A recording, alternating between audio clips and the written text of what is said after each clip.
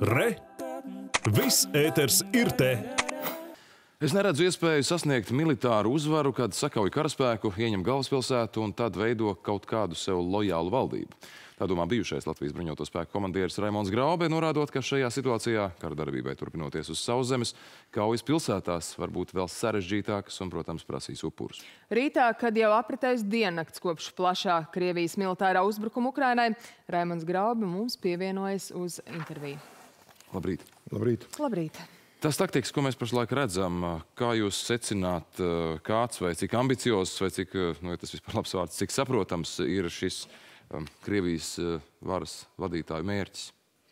Nu, principā, daudz jau tiek runāts, un šī diennakts apstiprina vienu lietu. Par mērķi galvenu uzbrukumu virzienu Krievijas federācija ir izvēlējusies Kijevu. Tur ir daudz simbolismu, Es arī no cita intervijā arī teicu, tas atgādina Otro pasaules karu, kur gan viena puse izvēlējās Maskavu kā mērķi pamatu uzbrukumam, tāpat arī, tāpat arī Berlīna otrā kara beigās. Bet nozīme šim simbolismam arī tāda, ka, lai kā viņš gribētu, no, pamatu uzdevums, protams, ir caur Kijevu nomainīt valdību. Un viņam grūti iedomāties bez šīs simbolu kontrolēšanas kaut kur pasludināt, es nezinu, Černigovā vai Sumā vai kādā citā pilsētā teiksim, šo kolaboracionieru vai nodevēju valdību.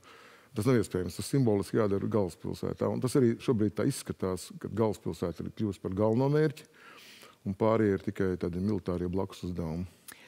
Krievijas spēki pie Ukrainas robežas tika koncentrēti nu, jau diezgan ilgu laiku. Pēc tam bija arī šīs mācības Baltkrievijā. Un vakar redzot, kā notiek iebrukums no vairākiem punktiem, dodot triecienus pa vairākām vietām uzreiz praktiski gandrīz vienā laikā, ar jūsu zināšanām, cik ilgi un pamatīgi šī operācija tika plānota?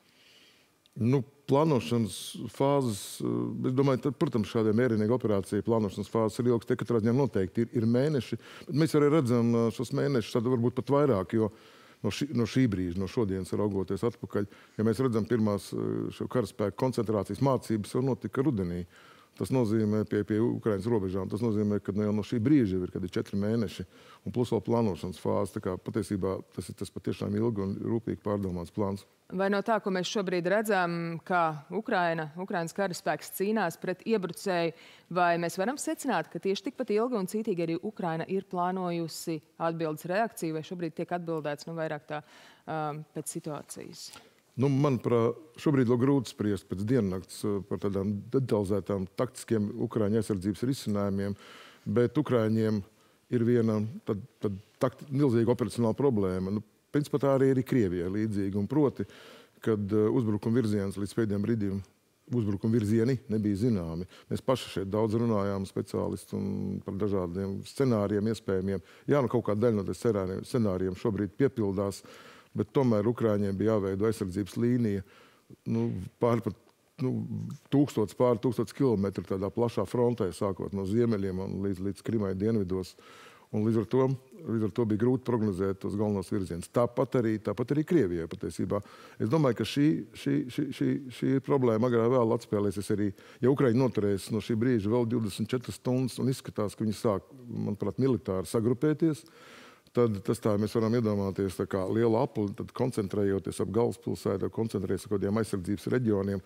Jā, uzbrukums paliek arī tāds koncentrētāks, bet ir aizsardzība paliek koncentrētāka. Un, un šobrīd skaidri redzams, ka Krievijas eh, tāda, tāda stratēģija šim uzbrukumam ir izvairīties no punkts viens no pašu zaudējumiem, cik vien maksimāli tas iespējams, pielietojot tālās darbības ieročus un to viņi realizē.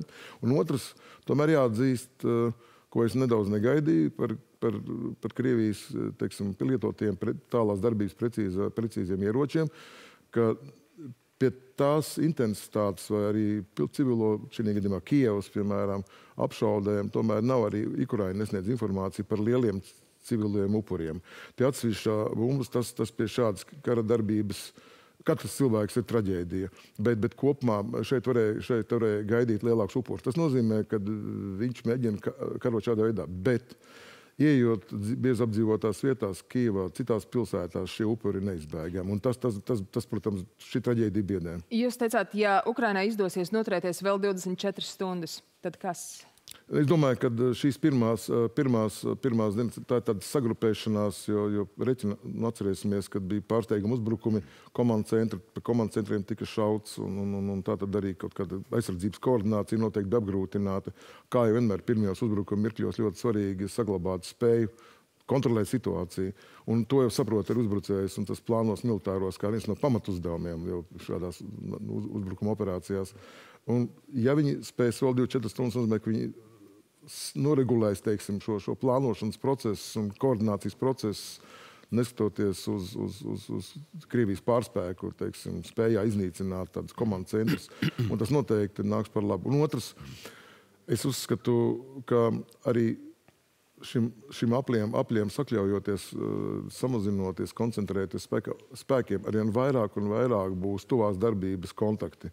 Tas nozīmē, tur, kur Ukrāņiem arī pieredze Donbasā, Luganskā, un tur varētu šādā konvencionālā karā šie spēki kontaktcīņās sākt izlīdzināt. Bet tā pašā laikā tur arī šī upuru riska liela, kā jūs sacījāt, kontaktcīņā. Par emocionālo pusi tomēr arī jāvaicā, nu, es saprotu, militāristi ir pieraduši domāt racionālās, konkrētās, taktiskās kategorijās, bet cilvēks tik un tā nav mašīna un no emocijām nevar abstrahēties. Ko šajā situācijā Ukrainai, vai tā ir kāda priekšrocība traucējoša, vai kā jūs to saskatāt, tas, ka viņi tomēr ir pirmkārt jau no vienas puses savās mājās, karu aizstāv savu zemi, kur ļoti daudz iedzīvotāji ir izrādījuši ir apņēmību tajā iesaistīties, piedalīties, un no otras puses tomēr, ka šis bezjēdzīgais karš ir ar nu, ļoti tuvu, teiksim tā, brāļu tautu, vai, vai kā to varētu apzīmēt, kur es pieļauju, ka var būt arī situācija tāda, ka viens otru pazīst pretinieku rindās esošie, esošie karavīri. Jā, šis ir ļoti, ļoti nozīmīgs faktors, jo Ukrāņi ir savas zemes. Mēs esam varbūt tā pieraduši vērojot arī, nu, var domāt par, par Krievijas karavīriem, ka nu, viņi ir tādi morāli noturīgi, bet atcerēsimies, ka mēs lielākoties tās vienības, kuras mēs redzam kādā Sīrijā vai kādās citās vietās, tās lielākoties speciāli uzdevuma vienības vai speciāli sagatavot karavīri, šeit ir iesaistīti pāri 80% Krievijas personāla sastāvu un, un regulārām vienībām šāda veida nu, noturība nav. Šeit atkal laiks. Es uzskatu, ka laiks spēlēs arī šajā jomā, spēlēs par labu, par labu Ukrāņiem. Es domāju, to saprot arī Krievijas ģenerālštāps savos plānos, un tāpēc arī mēģina maksimāli ātri ieņemt Kijevu. Vai patiesībā pamatā, pamatmērķis ir iznīcināt, iznīcināt valdību, sagraut šo vadību, jo, lai arī kā Ukrāņu tauta varbūt pirms tam domāja no ekonomiskā, no sociālā viedokļa, viedokļiem par savu prezidentu, izskatās, ka šobrīd viņš ir kļuvis par simbolu. Un, un to arī vakar intervijā pie jums viens nu, iedzīvotājs apstiprināja, ka prasot kādu informāciju, viņš saka, mums ir pilnvērtīga informācija un piebilda ļoti svarīgu frāzi, ka prezidents ar mums uzrunā tur katru pusstundu. Tā, tā, šo, šo piemēru tas liecina, ka cilvēks sāk raudzīties viņu kā simbolu. Un, un arī šī nakts emocionālā viņa, viņa uzruna tautai, ka viņš ir galvenais mērķis, to, to, to tikai apliecina. Jā, Ukrāņu garu šis, šis, es domāju, tas stiprina, kamēr Krievijas regulāro, īpaši regulāro karaspēku vienību, tad morālo stāvokli noteikti pasliktina. Tas vēl, vēl sliktāk padarīs, parādīsies arī upuršais vienībās. Tā kā, tā, Par to es kā... tieši arī gribēju jautāt, jo izskan viedoklis, ka Krievijas sabiedrības, lielākās daļas sabiedrības viedokli varēs mainīt, un viņi būs gatavi aktīvi nostāties pret savu prezidentu tikai tajā brīdī, kad zārki nāks mājās. Jā, es domāju, ka mēs visi atceramies Afganistānas karu, padomu laika Afganistānas karu, kur pie, pie, tam, pie totālas informatīvās kontrolas tika dibināts māšu komitejas, kam bija ļoti no, liela nozīme. Arī, es domāju, kopējā pārkārtošanā perestroikas, ko man paudze pazīst periodā, kā tāda pilsoniska kustība. Uh, Es domāju, jā, tas, tas, varētu būt, tas varētu būt viens no iemesliem, bet nu, tur atkal tomēr šī totāli kontrolētajā mediju, mediju vidē, saziņas vidē valsts nu, šobrīd grūti iedomāties, ka kāds varētu kaut kādu šādu veidu publiski, publiski paust. Bet, bet jā, es, es, es tam uzstādījumam piekrītu. Tas arī būs viens no, viens no tādiem, tādiem nu, viens no veidiem, kas, kas noteikti varētu ietekmēt uh, tālākos procesus, bet Krievijas politiskā vadība to ļoti labi saprot. Tieši tāpēc arī ir šie, šie precīzie uzbrukumi, tāpēc arī mēģinājums lietot tādas tehnoloģijas, tālās darbības ieročus, nekontaktieročus. Ar to gribu teikt, lai salauztu Ukrāņu garu, bet man liekas, viņi ir smagi pārreķinājušies savos plānos. Un, un, un, šī avantūra, traģiska avantūra, savādāk nenosaukt no militāra viedokļa šo operāciju, šo karu Jā, tā ir traģiska avantūra arī no militārā viedokļa, ar nezināmām beigām. Nu, ko, kā jūs minējāt, nākamās 24 stundas ļoti, ļoti svarīgas eh, par eh, to, kā turpmāk arī izvērsīsies šī kara.